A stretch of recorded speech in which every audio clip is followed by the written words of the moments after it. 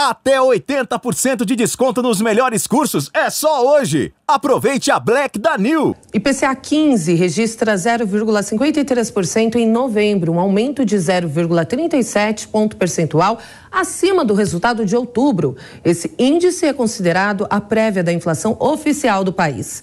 E para falar sobre essa alta, recebemos o economista Idean Alves. Boa noite, Idean. Falei certo seu nome? Falou, falou, Keila. Boa noite, boa noite, Marcelo, boa noite, telespectadores. Seja bem-vindo ao Headline News. Bom, o que puxou essa prévia da inflação? Quais produtos foram responsáveis por este aumento? Em especial, em primeiro lugar, alimentos e bebidas. Segundo, saúde e cuidados pessoais. E em terceiro, transporte, que já vinham indicando uma alta no, no mês anterior e estão reforçando esse, essa, essa inflação também, que deve vir mais forte o movimento que a gente teve nos últimos três meses, especialmente julho, agosto, setembro, foi um movimento artificial. E aos poucos a inflação vai voltando para os trilhos. Legal. Agora a gente viu que Campos Neto, que é o presidente do Banco Central, disse em um evento que se colocar mais dinheiro na economia vai gerar uma inflação ainda maior. Na sua opinião, né, como você é um especialista, quais políticas econômicas são necessárias para que a inflação então diminua? O ideal seria a gente tentar ter o, ter o equilíbrio. O equilíbrio não só econômico, mas também principalmente fiscal. Hoje, o grande receio do Roberto Campos Neto, do, do Copom, em especial, em relação às próximas altas de juros, é que antes da eleição a gente tinha a conversa de que a partir de 2023 a gente começaria a ter redução na taxa de juros, muito por conta do controle da inflação. E agora, nas últimas semanas, a gente está vendo esse discurso mudar justamente porque eles já estão vendo que a inflação deve voltar a subir. E qual seria o caminho mais saudável para que isso não, não afetasse principalmente a população mais pobre? Seria ter um fiscal um pouco mais equilibrado, não tão gastador, não tão expansionista, como a gente fala no mercado. Seria a gente começar a ter uma redução também da, da curva de juros em 2023. É um cenário que se torna um pouco menos provável, mas esse seria o caminho ideal. E também, claro, acho que não tem como a gente tentar controlar a inflação através da canetada. Acho que o melhor caminho é deixar que o mercado faça o seu trabalho e entrar como regulador de fato. Agora, quando o governo ele tenta uh, controlar a inflação, a gente já viu esse filme antes e o final não foi muito feliz. A gente espera, espera não ter que passar por ele novamente. No âmbito mundial, Ideia, qual deve ser a perspectiva da inflação? Ainda de alta ou deve começar a cair? Vi que Campos Neto disse que estamos neste momento no pico, né, no ápice. Isso, muito, provavelmente é, o pico está se confirmando, não só, não só no Brasil, só que no Brasil a gente estava tendo essa discussão aberta para 23, mas no mundo também caminha para isso. Até porque alguns fatores que estavam puxando bastante a inflação, um deles começou a cair depois de muito tempo, que é o petróleo Brent. A gente sempre falava, do, falava nos últimos seis meses do petróleo entre 110 e 120 dólares, e próximo a 100 dólares já estava muito bom, agora a gente vê um petróleo próximo a 84 dólares. Isso ajuda também a reduzir a inflação a nível global. Além disso, a situação na guerra entre Rússia e Ucrânia estava ajudando a puxar a inflação na Europa. A gente já começa a ver que existem algumas soluções sendo encontradas no meio do caminho. Então, isso também deve ajudar a reduzir a inflação global.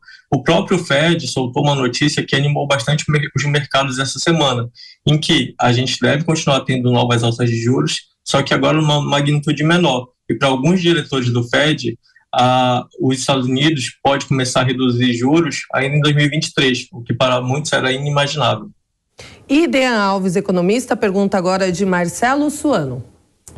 Ideia, boa noite. É, eu não sou economista, por favor, então perdoe qualquer deslize que eu, que eu cometa. Eu gostaria de fazer uma pergunta para você. É, o primeiro dado, a impressão que eu tive no primeiro momento é que se circulasse mais dinheiro na economia, aumentaria a inflação. Seria uma inflação de demanda que seria gerada pela circulação. Creio que é esse o termo. A pergunta que eu te faço agora é a seguinte: suponhamos que tudo dê certo, a transição do governo esteja tudo bem e seja aprovado a PEC da transição.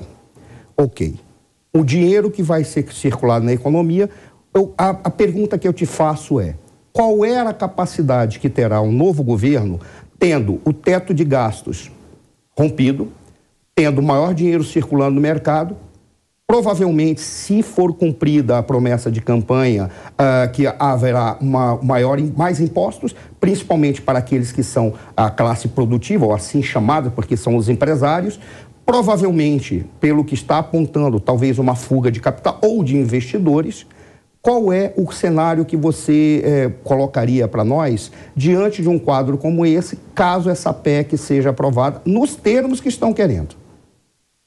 Desculpa é, fazer uma cenário... pergunta tão complicada como essa e tão comprometedora. Tudo bem, imagina, a gente está aqui justamente para isso, Marcelo.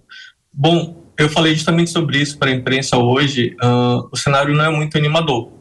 Resumindo, a gente vai ter, vai provavelmente o pneu vai furar no meio do caminho, a gente vai ter que consertar ele com o carro em movimento. E normalmente quem acaba sofrendo mais é a população mais pobre, porque quando você fala de um governo com um balanço fiscal é, expandido, com mais gasto e de forma indiscriminada, é, uma fala que inclusive preocupou bastante o mercado do, do Haddad hoje foi que vamos é, passar é, 100, 200, uh, qualquer valor que seja, de proporcional acima do teto, e depois a gente vai conversar. Depois a gente vai conversar sobre como vai ficar o teto após isso.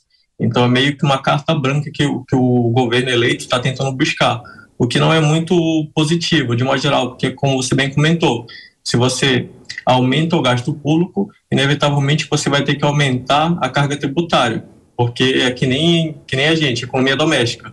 Você só pode gastar em tese o que você ganha. O governo ele tem essa carta branca por conta do poder de endividamento. Então a gente vai ter uma dívida uma dívida, uma relação dívida PIB que deve ficar próximo aos 100%, o que também já é bastante alarmante e também obrigatoriamente vai ajudar a puxar os juros. Então se a gente falava de corte de juros em 2023, então a gente vai ter um governo gastando mais, uma inflação cada vez mais elevada e com combustível de, da injeção de mais dinheiro na economia, o que acaba jogando contra, a gente vai ter um juros mais alto e provavelmente vai ter desemprego. Vai ter desemprego, fuga de capital e fuga de investidores, porque você cria uma, uma insegurança econômica e jurídica muito grande. E tudo que o mercado não gosta, essa imprevisibilidade ou essa falta de visibilidade que é o que o governo ainda não conseguiu dar, em especial com a falta do, do anúncio ou de uma linha mais mais centrada do, do qual será a política econômica. Então, tudo isso vai acabar afetando não só a população mais pobre, mas também o empresariado. Então, a gente vai ter um juros mais alto, uma inflação mais elevada, desemprego provavelmente aumentando, e por mais que a população mais pobre consiga receber auxílio, é, assim como a inflação dá, a inflação tira. Dessa vez vai tirar muito mais forte dessa, da população menos favorecida.